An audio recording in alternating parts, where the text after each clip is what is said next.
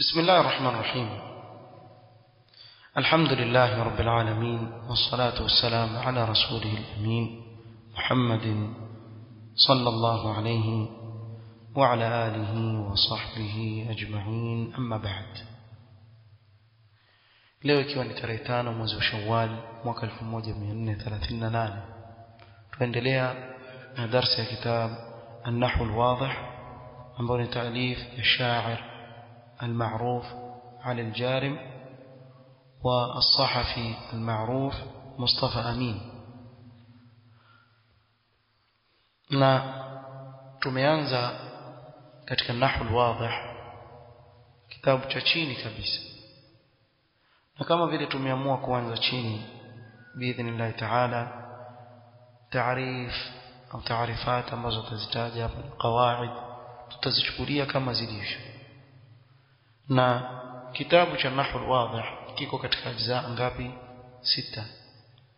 Cha kwanza cha pili cha tatu katika marhala ibtidaiya cha kwanza cha pili cha tatu katika marhala ya thanawia na yeyote anayeweza kumaliza hizi marahil zote na kuzielewa biidhnillahi taala yuko na sehemu kubwa kabisa katika kufahamu ilmu ya nini? Ya nahwu. Na pia ana kiasi fulani katika ilmu ya sarf kwa sababu kuna milango ambayo atayataja kule mbele ambayo yafungamana nini? Na sarf kama tulivyoahidi kuwa tutakwenda polepole katika mada moja baada ya nyingine leo insha Allah taala tutaanza zaul jumla ajzau aljumla kama ilivyo mtindo tulioanza nao kwa tutaanza kusoma al-amthila kisha al-bahth kisha tusome al-qawaid.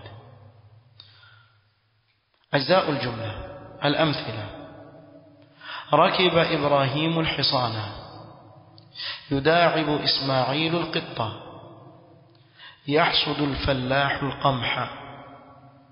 تأكل الشاة فولا وشعيرا. سمعت النصيحة. يسطع النور في الحجرة. تجري السفينة على الماء. هل تحب السفر؟ عرفنا فيما مضى أن الجملة المفيدة تتركب من أجزاء هي الكلمات tumejua katika yale tuliyozungumzia kabla ya haya kuwa aljumlatul mufida imejengwa sentensi ambayo yafaidisha mtu faida imejengewa na viungo vya maneno mpaka ikawa ni jumla sentensi nzima ونريد أن نعرف في هذا الدرس أنواع الكلمات sasa tutataka kujua aina ya yale maneno ambayo hukusanywa yakatunga ile sentence فنقول إذا بحثنا في الجمل التي معنا وجدنا أن الكلمات إبراهيم وإسماعيل والفلاح ألفاظ تسمي بها أشخاص ukitizama kwa makini utapata kuwa maneno haya Ibrahim Ismail Al-Fallah ni lafdhi ambazo wameitwa nazo watu wa anna al-kalimat al-hisan wal-qit والشاة ألفاظ تسمي بها أنواع من الحيوان وجنا هاي وميتوا أين يا وأن القمح والفول والشعير ألفاظ تسمي بها أنواع من النبات ni aina لكن mimea. Kile kinachopatikana katika mimea haya. Wa والسفينة والماء ألفاظ تسمي بها أنواع من الجماد رحمك الله جماد ni vile visivyokuwa na nini na roho kwa hivyo ikawa kwa mfano alhujra chumba safina chombo cha baharini meli na kadhalika na ma, maji ni alfaz ambazo zimepewa vitu visivyokuwa baadhi ya vitu visivyokuwa na roho vimeitwa kwa majina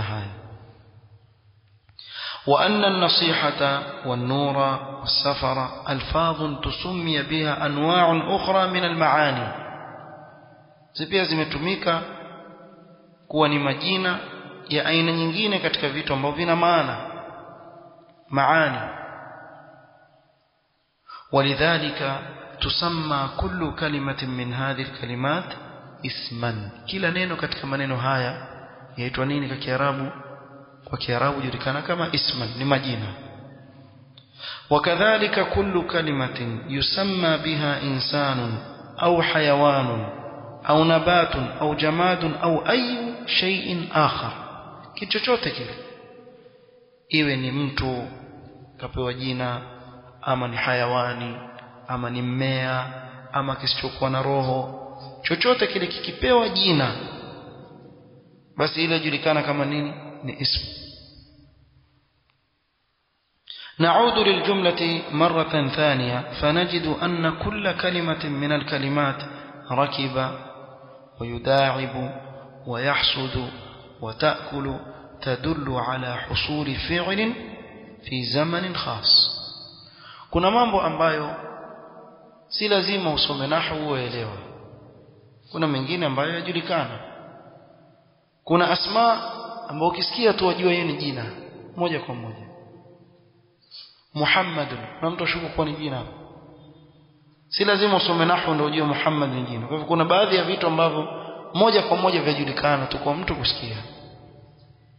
Na ndio maana waarabu walikuwa hawasomi nahwu wakati huo.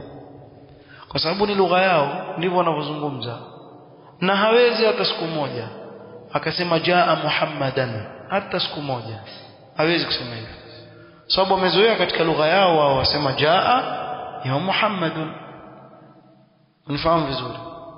Kuna hivi vitu vya kawaida tu kama asma yajulikana na kuna asma ambazo huwezi kujua mpaka ufanye nini? Usome. Hapa akataja nini? Af'ali. Rakiba.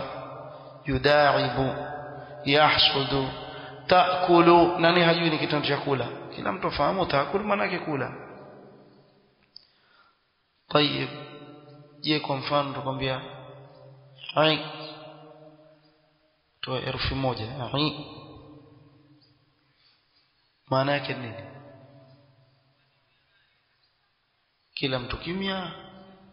Kuna mtu ajua mpaka asome sio? Ai yani ifham isma'u wa'u. Lakini kwa sababu kuja ni fi'l amr ikawa mahdhuf harf al-illa ambao lakini sentensi kama ni kama tulivyozungumzia jana. Kuna sentensi inaweza kuwa kwa kalima moja kama qum lakini ndani yake kuna kilichofichika ambacho kutajwa muqaddar ambao nini? Qum anta. Na pia inawezekana kuwa herufi moja peke yake. Kwa ain. Yani bimaana ifham hi hi anta طيب المهم kuna baadhi ya vitu ambavyo kila mmoja wetu hizi ni fi'li. قال نعود للجمل مرة ثانية فنجد أن كل كلمة من الكلمات ركب ويداعب ويحصد وتأكل تدل على حصول فعل في زمن خاص kitendo kilichofanyika katika zaman khas فلفظ ركب مثلا يدل على الركوب في الزمن الماضي ركب ni neno ambalo latueleza kitendo cha nini cha kupanda lakini katika zama ambazo zimepita ويداعب يدل على المداعبة في الزمن الحاضر أو الآتي ni fi'il mudari' katika huu wakati ambao wazungumza ndio mtu yofanya kile kitendo yudaibu au baada ya muda وهلم جرا ولذلك تسمى كل كلمة من هذا النوع فعلا كلا كلمة katika aina hii inaitwa nini fi'l ni kitendo وعند تأمل الجمل الثلاث الأخيرة في تسمى الجملة زموش تاتو نجد أن الكلمات وعلى وهل إذا نطق بكل منها وحده لم يفهم له معنى كامل ikiwa utataja kwa mfano fi ala hal haieleweki chochote واذا نطق بكل منها في جملته ikiwa itatajwa katika sentensi sasa ظهر معناه كاملا hapo ndio wafahamu maana yake kikamilifu وتسمى كل كلمة من هذه الكلمات الثلاث حرفا. كلا موجة كتكمان إنها ويتوانين هروفي حرفا. وكذلك كل الكلمات التي من هذا النوع. كلا نينو أمبر نكتكاين أيه ويتوانين حرف. القواعد. قال الكلمة ثلاثة أنواع. كلمة زي ميجوانيكا في جوانيو بتاتو اسم فعل وحرف كنا من جين يجري كان كما اسم كنا من جين يجري كان كما فعل نكون من جين يجري كان كما نيني حرف فالاسم كل لفظ يسمى به إنسان أو حيوان أو نبات أو جماد أو أي شيء آخر اسم ni أما ambayo kuitwa kwa majina ni binadamu au hayawani au mimea au visivyokuwa na roho au chochote kile kaitwa kwa jina ni ism والفعل كل لفظ يدل على حصول عمل في زمن خاص na fi'l ni kila lafdhi ambayo yatuonyesha kupatikana kwa kitendo katika zama zake hasa maana kuna madhi kuna mudhari kuna amr wa hakadha قال والحرف كل لفظ لا يظهر معناه كاملا إلا مع غيره na lafdh ni kile ambacho hakidhihiri maana yake kikamilifu mpaka kisimame pamoja na maneno mengine yani iwe ni jumla ndio utaelewa ile harfu maana yake nini ingawa hapa ukitizama vizuri kila moja katika al-ism al-fi'l na al-harf ina alama zake ukizijua zile alama ukiona moja kwa moja hata kama lile neno hulijui utakuwa ushafahamu hii nini. Ni harfu. Hii nini? Ni ismu. Hii nini? Ni fiili lakini hapa hakutaja hizo alama. Na sisi pia hatutotaja kama vile yeye hakutaja na sisi pia hatutaji.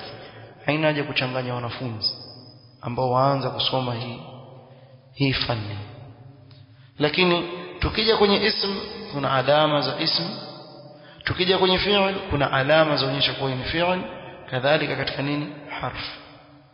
Na hizo alama ni muhimu sana mtu kuzijua itakuja wakati wake insha inshallah taala. Alama ukizijua moja kwa moja itakuwa lile neno likija tu. Kujua hili hapa sasa nini ni ism na hili hapa ni fi'l na neno hili hapa nini ni harf na itakuja kwa wakati wake biidhnillah taala nikifikia hapa natarajia kuwa mmeeleweka natarajia kwa wale ambao wanisikiliza vizuri mmenielewa ninachokizungumza